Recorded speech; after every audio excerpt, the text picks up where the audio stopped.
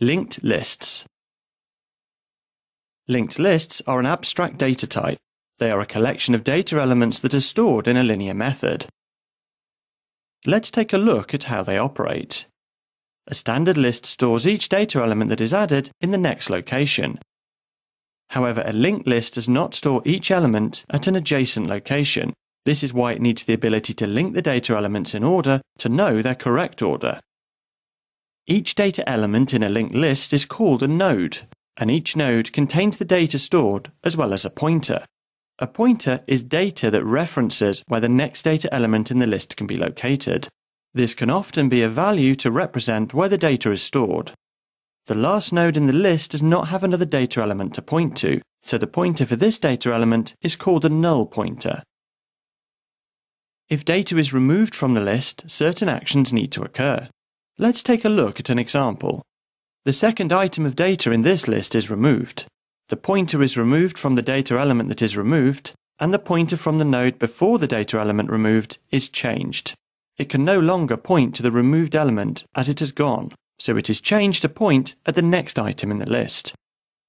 When data is added to a linked list, it is added to the first available space in the list. This could be at the end of the list, in this case, the pointer from the previous node is changed from null to point to the data element just added. The pointer for the data just added is now set to null. However, if a data element has been removed from the list, this may create an earlier space in the list. For example, if item 2 is removed from the list, this becomes the next available space. Therefore, data is added to this space, and the pointer from the last item of the list is changed from null to point to the new data element added. The pointer of the data just added then becomes the null pointer.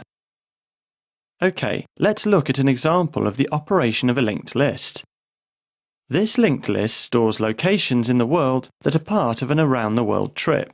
The locations stored in the list at present are New York, London, Paris, Rome, Berlin, Mumbai, Kuala Lumpur, and Sydney. The travel company updates the trip and some of the locations change. Berlin needs to be removed as a location, and two more locations are added to the trip Tokyo and Singapore. Tokyo will be visited after Mumbai and before Kuala Lumpur. Singapore will be visited after Kuala Lumpur and before Sydney. This is how the list is amended for the update.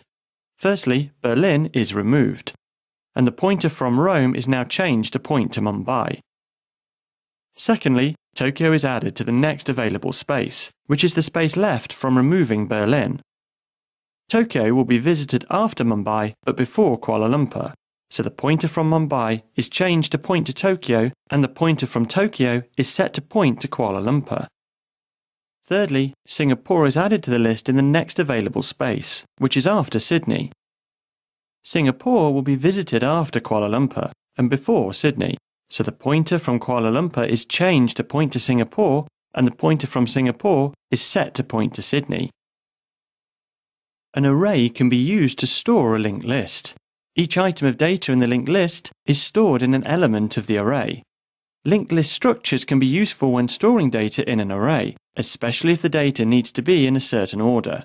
If an item of data is added to the array that needs to appear in the middle of the order, this can be an expensive process in terms of time and resources for the computer.